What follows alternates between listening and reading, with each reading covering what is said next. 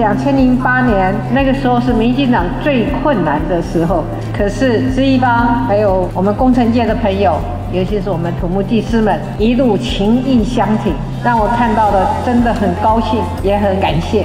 过去小英三年的执政，开始以后工程界变好了。如果以一个工程量来说，用两亿的工程已经达到了千亿的工程规模，我跟你恭喜在，明年我们的工程量就会很多。蔡英文的政府这三年多来，应该是一个让我们工程界最忙的政府。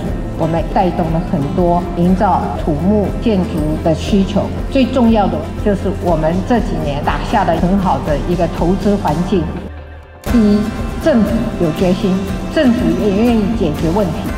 第二，我们的人才遍布在各个的产业里面。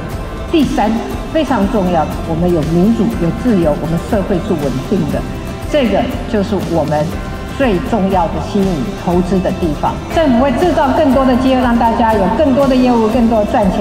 我们可以照顾老人家也可以照顾小朋友也会让年轻人有更好的更多的就业机会。所以再给蔡英文四年好不好？